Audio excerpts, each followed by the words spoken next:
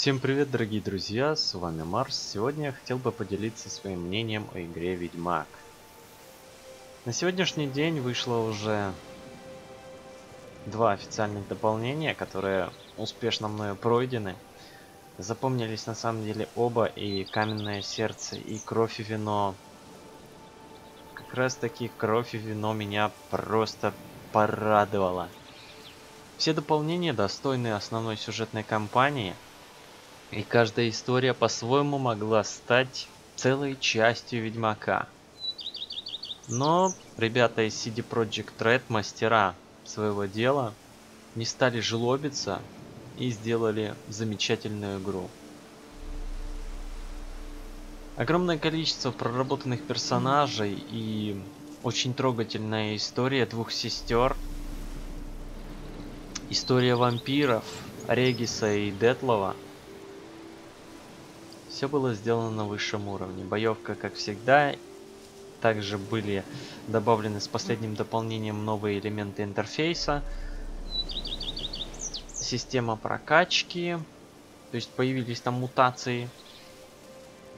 И что же еще? А, гроссмейстерские доспехи. Я сейчас с этим 2 на 2. То есть половина кота, половина э, этого медведя.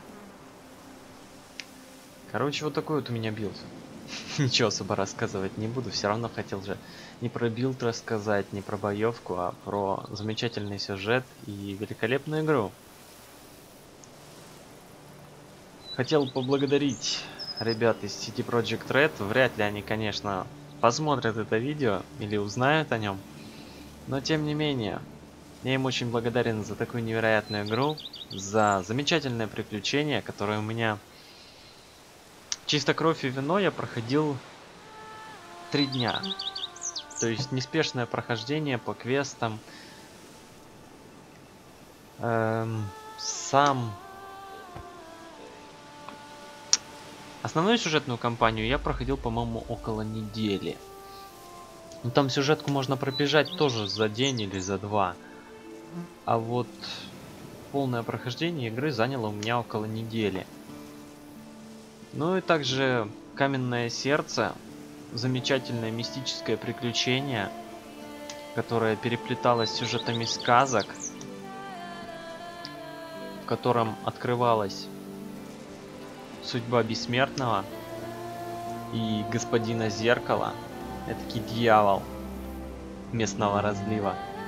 Мне все очень понравилось, ребят. Это, как я уже говорил в своем смотре на игру, когда-нибудь, когда-то она только вышла.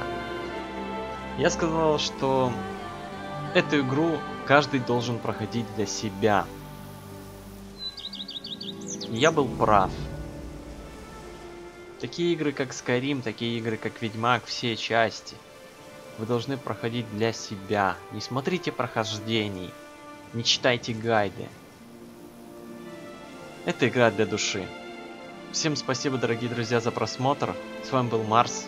Это было мое мнение о Ведьмак 3. Всем пока. До новых видео.